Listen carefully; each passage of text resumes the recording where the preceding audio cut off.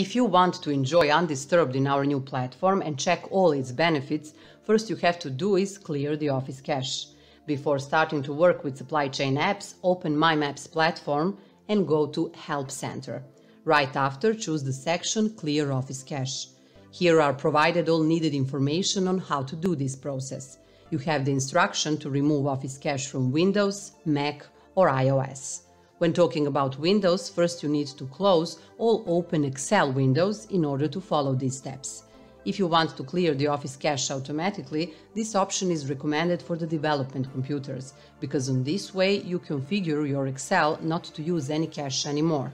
If this option is convenient for you, from the ribbon of any Office host except Outlook, go directly to File and then click on Options and after on Trust Center.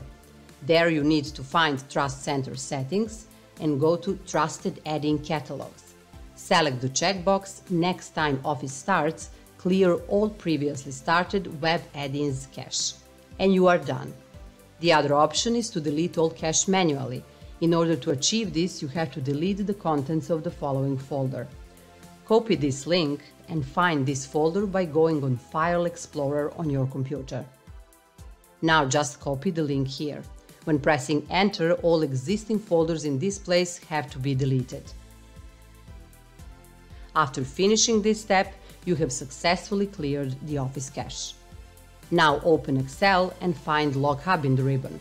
It might happen that the LogHub tab is not visible right after and will appear a couple of seconds or a minute later. But if that is not the case, go on Insert in the ribbon and then click on My Add-ins. Now just select supply chain add-in and add it again. You're all set up. Enjoy!